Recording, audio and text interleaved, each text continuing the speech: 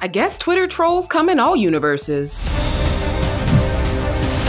What up and welcome to CBR News. My name is Cream Michelle, aka Brown Sugar Outlaw. And DC's Peacemaker Twitter account trolls the premiere of Marvel's What If by explaining why the Suicide Squad star is better than Captain America. You gotta be a special kind of confident to talk trash with a helmet like that. Hashtag What If Captain America wasn't a giant wimp and was at least five times stronger? He would be me, Peacemaker tweeted.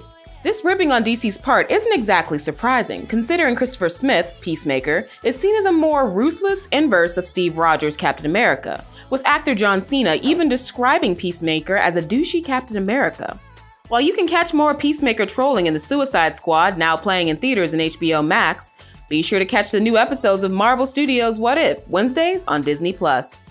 Alright, y'all, once again, my name is Cream Michelle, aka Brown Sugar Outlaw. Be sure to check out CBR.com the go-to source for comic book and superhero movie fans.